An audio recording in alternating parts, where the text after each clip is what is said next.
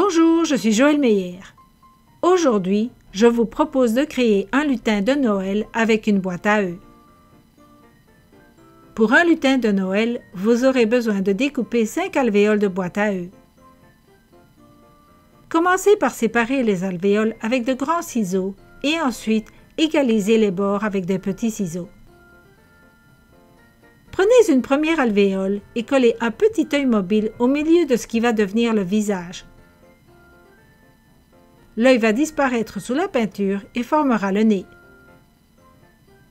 Peignez l'alvéole avec l'œil en utilisant de la peinture couleur chair.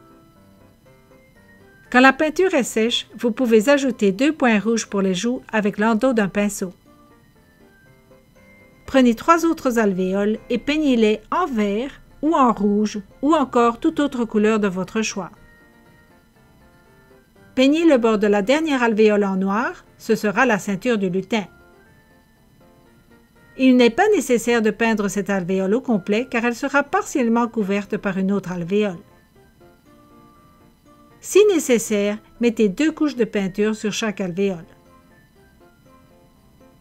Prenez l'alvéole dont le bord est peint en noir et peignez un petit rectangle de peinture dorée pour représenter la boucle de la ceinture. Pour un plus beau fini, ajoutez une couche de vernis acrylique. Prenez un morceau de papier de construction épais et peignez-le de couleur chair. Quand un côté est sec, peignez l'autre côté. Ce morceau de papier va servir à créer les oreilles du lutin.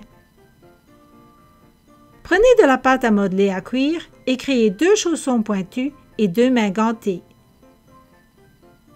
Créez les chaussons et les mains plus ou moins en proportion avec votre lutin. Faites un petit trou avec un cure-dent dans chacun des chaussons. Le petit trou servira à rentrer le cure-pipe des jambes. Pour les mains, faites un petit trou sur le côté pour pouvoir y rentrer le cure-pipe des bras. Si vous préférez que les mains aient la même couleur que le visage, peignez les mains quand elles seront cuites. Quand vous êtes satisfait des chaussons et des mains, placez-les sur une toile à biscuits recouverte de papier aluminium et cuisez-les suivant les instructions de la pâte à modeler que vous utilisez. Prenez l'alvéole avec le nez et une autre alvéole de couleur qui va former le chapeau et collez-les l'une à l'autre avec de la colle blanche. L'ensemble forme donc la tête avec le chapeau. Pour le corps, prenez une alvéole de couleur. Mettez un peu de colle blanche sur le haut de l'alvéole et collez l'alvéole avec le bord noir dessus. Ensuite, mettez un peu de colle blanche sur le haut de l'alvéole à bord noir et collez la dernière alvéole de couleur dessus. Ces trois alvéoles ensemble forment le corps. Collez la tête sur le corps avec de la colle blanche.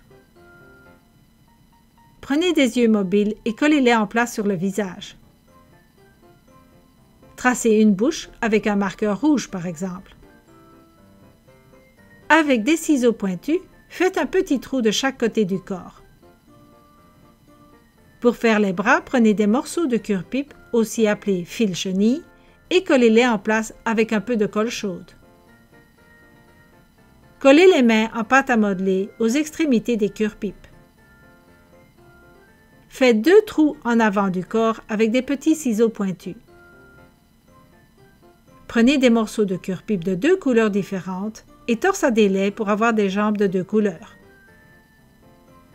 Collez les jambes en place. Collez les petits chaussons pointus en pâte à modeler au bout des jambes. Découpez un morceau de cure-pipe blanc pour représenter la fourrure au bord du chapeau et collez-le en place. Collez un pompon sur le chapeau avec de la colle chaude. Prenez le morceau de papier de construction épais que vous avez peint plus tôt et pliez-le en deux. Tracez une oreille pointue d'un côté et découpez les deux épaisseurs du papier de construction. Collez les oreilles de part et d'autre du visage. Si vous voulez créer un chapeau pointu comme cet exemple, ne manquez pas la prochaine vidéo.